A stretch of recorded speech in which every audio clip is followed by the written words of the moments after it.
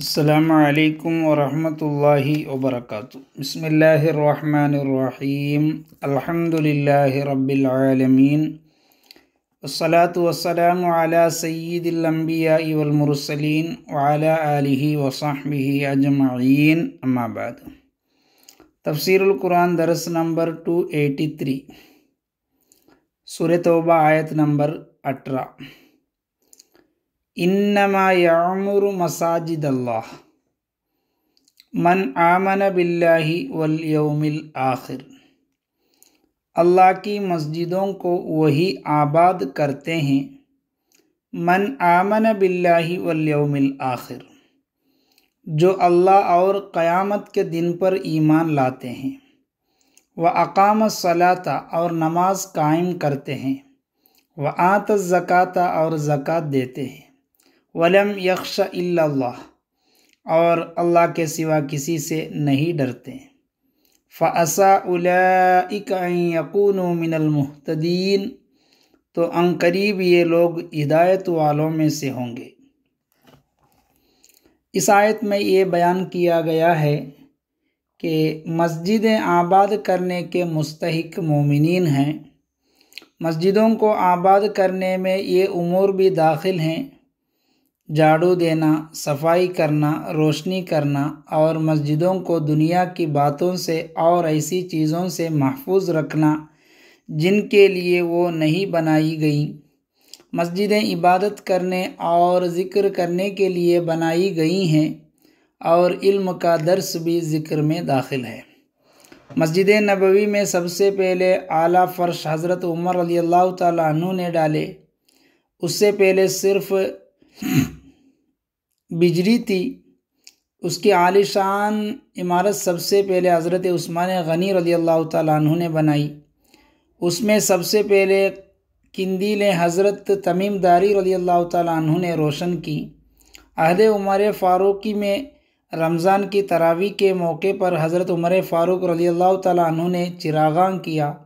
اور حضرت علی کرم اللہ و جہول کریم نے حضرت عمر فاروق رضی اللہ تعالیٰ عنہ کو نور قبر کی دعا دی۔ حضرت سلیمان نے، سلیمان علیہ السلام نے بیت المقدس کی کبریت احمر کی روشنی کی، جس کی روشنی بارہ مربع میل میں ہوتی تھی اور اسے چاندی سونے سے آراستہ فرمایا۔ مسجدیں بنانے کا حکم اور ان کی تعمیر کے فضائل بکثرت احادث میں مذکور ہے جیسے کہ حضرت انس رضی اللہ تعالیٰ عنہ سے روایت ہے، نبی اکرم صلی اللہ علیہ وسلم نے ارشاد فرمایا، مسجد تعمیر کرو اور انہیں محفوظ بناؤ۔ حضرت عثمان غنی رضی اللہ تعالیٰ عنہ سے روایت ہے، رسول اللہ صلی اللہ علیہ وسلم نے ارشاد فرمایا، جو اللہ تعالیٰ کے لیے مسجد بنائے گا، اللہ اس کے لیے جنت میں گھر بنائے گا۔ حضرت انس رضی اللہ تعالیٰ عنہ سے روایت ہے، رسول انور صلی اللہ علیہ وسلم نے ارشاد فرمایا جس نے اللہ کے لیے چھوٹی یا بڑی مسجد بنائی، اللہ تعالیٰ اس کے لیے جنت میں گھر بنائے گا۔ حضرت عمر بن خطاب رضی اللہ تعالیٰ عنہ فرماتے ہیں، میں نے حضور صلی اللہ علیہ وسلم کو ارشاد فرماتے ہوئے سنا کہ جس نے مسجد اس کے اس لیے بنائی تاکہ اس میں اللہ کا ذکر کیا جائے، تو اللہ تعالیٰ اس کے لیے جنت میں گھر بنائے گا۔ حضرت ابو حریرہ رضی اللہ تعالیٰ عنہ سے روایت سرکار دو عالم صلی اللہ علیہ وسلم نے ارشاد فرمایا جس نے اپنے حلال مال سے وہ گھر بنایا جس میں اللہ کی عبادت کی جائے۔ تو اللہ تعالیٰ اس کے لیے جنت میں موتیا اور یاقوت کا گھر بنائے گا۔ اللہ تعالیٰ ہمیں بھی مسجد تعمیر کرنے اور اس کی تعمیر میں حصہ لینے کی توفیق عطا فرمائے۔ آمین۔ حضرت انس رضی اللہ تعالیٰ عنہ سے مروی ہے۔ سات چیزیں ایسی ہیں جن کا ثواب بندے کو مرنے کے بعد بھی ملتا ہے۔ ان میں سے ایک مسجد تعمیر کرنا ہے۔ پھر آگے اللہ تعالیٰ فرمایا، ولم یکش اللہ اور اللہ کے سوا کسی سے نہیں ڈرتے۔ اس سے مراد یہ کہ وہ دینی معاملات میں اللہ تعالیٰ کے سوا کسی سے نہیں ڈرتے۔ اور کسی کی رضا کو رضاء الہی پر کسی اندیشہ سے بھی مقدم نہیں کرتے۔ اللہ سے ڈرنے اور غیر سے نہ ڈرنے کے یہی معنی ہیں۔ نیز یاد رہیں کہ جن چیزوں سے انسان فطری طور پر ڈرتا ہے، جیسے اندھیرا درندے اور زہریلے جانور وغیرہ، ان سے ڈرنا اللہ تعالیٰ کے علاوہ کسی اور سے نہ ڈرنے کے خلاف نہیں، کیونکہ یہ فطری خوف ہے اور اس سے بچنا انسان کے بس کی بات نہیں۔ پھر اگلی آیت اجال تم سقایت الحاجی تو کیا تم نے حاجیوں کو پانی پلانے والے کو وہ عمارت المسجد الحرامی اور مسجد حرام کی خدمت کرنے والے کو کمن آمن باللہ والیوم الآخری اس شخص کے برابر ٹہرا لیا، جو اللہ اور قیامت پر ایمان لایا۔ وہ جاہد فی سبیل اللہ، اور اس نے اللہ کی راہ میں جہاد کیا۔ لا یستوون عند اللہ یہ اللہ کے نزدیک برابر نہیں ہے۔ واللہ لا يهدي القوم الظالمین اور اللہ ظالموں کو ہدایت نہیں دیتا۔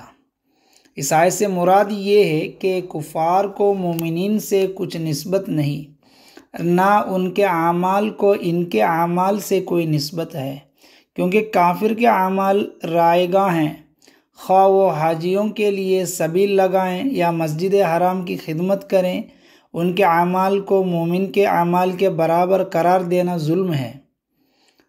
روز بدر جب حضرت عباس رضی اللہ تعالیٰ عنہ گرفتار ہو کر آئے، تو انہوں نے صحابہ کرام سے کہا کہ تو تم کو اسلام اور اجرت و جہاد میں سبقت حاصل ہے، تو ہم کو بھی مسجد حرام کی خدمت اور حاجیوں کے لیے سبیلے لگانے کا شرف حاصل ہے۔ اس پر یہ آیت نازل ہوئی اور آگاہ کیا گیا کہ جو عمل ایمان کے ساتھ نہ ہو، وہ بیکار ہے۔ پھر اگلی آیت، الذین آمنو وہ جنہوں نے ایمان قبول کیا وہ حاجر اور ہجرت کی وہ جاہدو فی سبیل اللہ بھی اموالہم و انفسہم اور اپنے مالوں اور اپنے جانوں کے ساتھ اللہ کی راہ میں جہاد کیا عالم درجتاً عند اللہ۔ اللہ کے نزدیک ان کا بہت بڑا درجہ ہے۔ وہ الائی کہم الفائزون اور وہی لوگ کامیاب ہونے والے ہیں۔ جہاد کی تین صورتیں ہیں۔ ایک، فقط جان سے جہاد کرنا جیسے مساکین کرتے تھے۔ دوسرا، فقط مال سے جہاد کرنا جیسا کہ معذور، مالدار، مومن کا عمل کے غازی کو گھوڑا وغیرہ دے دیتے تھے۔ تیسرا، جان و مال دونوں سے جہاد کرنا جیسا کہ غنی، قادر، مسلمان جو کہ دوسرے مسکین غازیوں کو سامان بھی دیتے اور خود بھی میدان میں جاتے تھے۔ اور ان کے اپنے جانے پر بھی خرچہ ہوتا۔ یہ آیت کریمہ ان تینوں مجاہدوں کو شامل ہے۔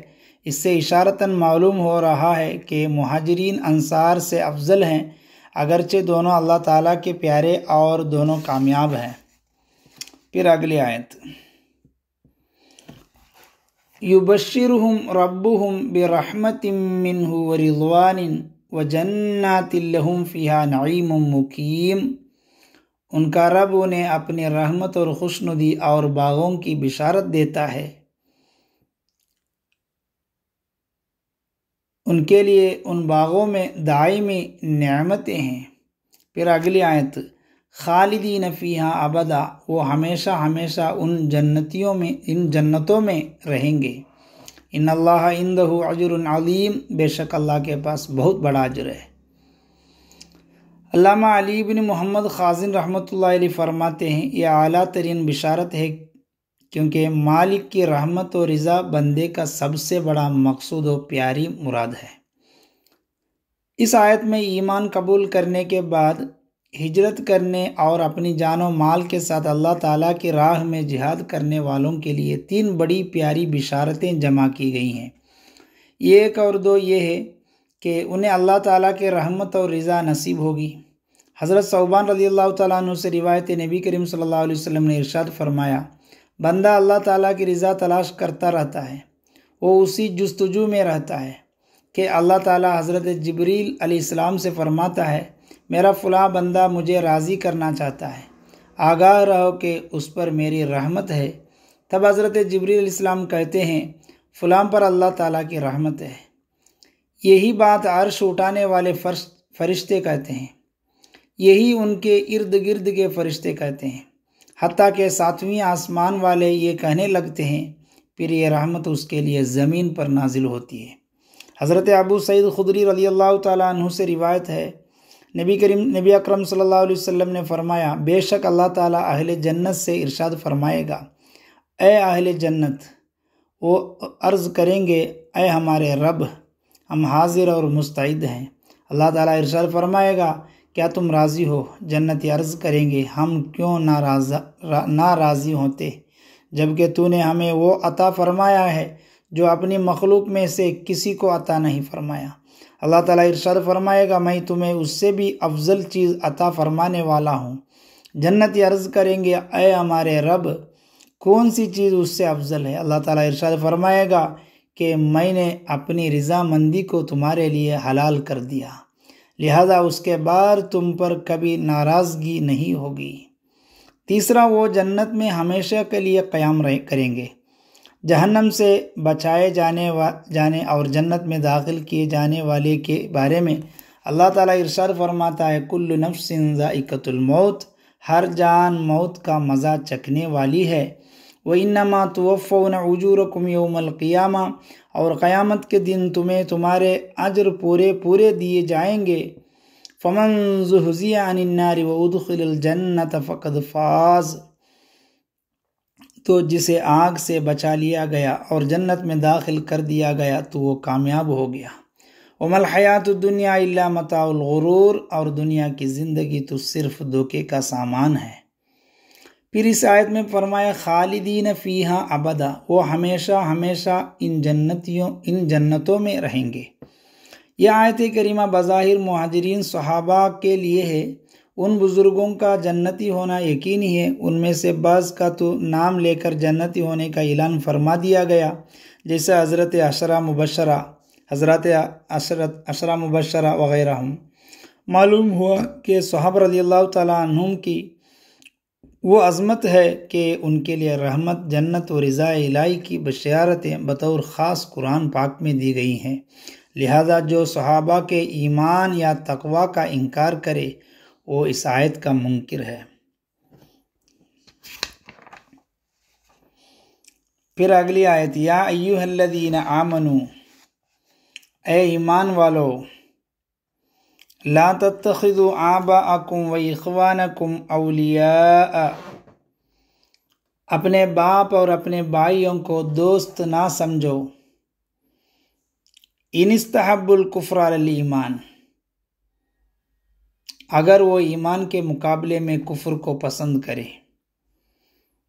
ومیت منکم فولائی کا ام العالمون اور تم میں جو کوئی ان سے دوستی کرے گا تو وہی ظالم ہے۔ جب مسلمانوں کو مشرق مشرقین سے ترک موالات کا حکم دیا گیا، تو بعض لوگوں نے کہا، یہ کیسے ممکن ہے کہ آدمی اپنے باپ، بھائی وغیرہ خرابت داروں سے ترک تعلق کرے؟ اس پر یہ آیت نازل ہوئی اور بتایا گیا کہ کفار سے موالات یعنی قلبی محبت کا تعلق جائز نہیں، چاہے ان سے کوئی بھی رشتہ ہو۔ اللہ تعالیٰ کے نافرمانوں یعنی کافروں، بے دینیوں، بے دینوں اور گمراہوں کے ساتھ میل جل رسم و روا مبت و محبت، ان کی بات میں ہاں ملانا، ان کی خوشامد میں رہنا سب ممنوع ہے۔ ارشاد باری تعالیٰ ہے، ولا ترکن الدین غلم فتمسکم النار۔ اور ظالموں کی طرف نہ جھکو، ورنہ تمہیں آگ چھوئے گی۔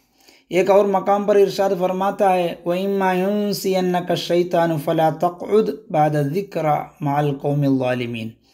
اگر شیطان تمہیں بھلا دے، تو یاد آنے کے بعد ظالموں کے پاس نہ بیٹھے، نہ بیٹھ۔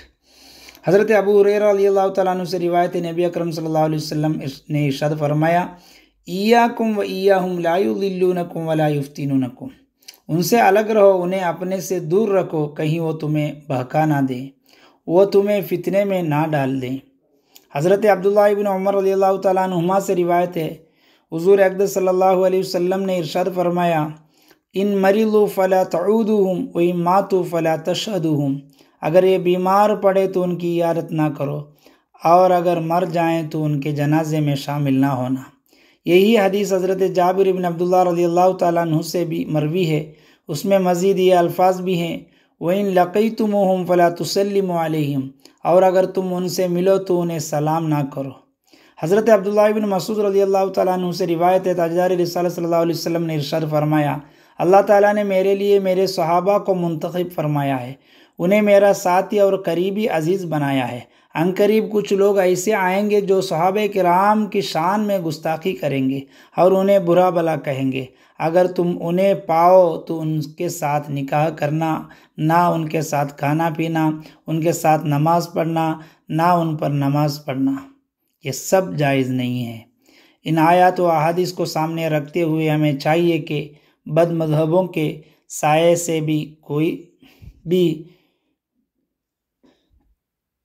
دھور باغے، اگرچہ ان کے ساتھ ان ان کے ساتھ نہ بیٹھے، ان کی دعوتوں میں اور ان کی شادی غمی غمی میں شریک نہ ہو، اللہ تعالیٰ ہمیں ان کے شر سے محفوظ رکھے، آمین، یا رب العالمین۔ پھر آیت نمبر چوبیس انشاءاللہ اگلی درس میں پڑھیں گے۔ وآخر دعوانا الحمد للہ رب العالمین۔ السلام علیکم ورحمۃ اللہ وبرکاتہ۔